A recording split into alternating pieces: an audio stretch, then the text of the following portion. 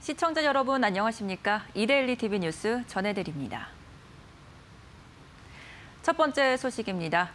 개인 투자자의 주식 열풍에 올해 상반기 증권 거래세가 5조 원을 돌파하며 사상 최대 규모를 기록했습니다. 기획재정부에 따르면 올해 상반기 거친 증권 거래세는 약 5조 5천억 원으로 지난해보다 66.7% 급증했습니다.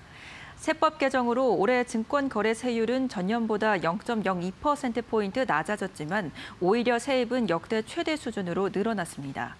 기재부 관계자는 주식시장이 살아나고 개인 투자자가 늘면서 거래가 활발해졌기 때문이라고 분석했습니다. 정부는 2023년부터 증권거래세를 0.15%로 인하하는 대신 그동안 대주주에게만 부과됐던 양도세를 전면 확대해 소액 주주들도 과세 부담을 질 것으로 예상되고 있습니다.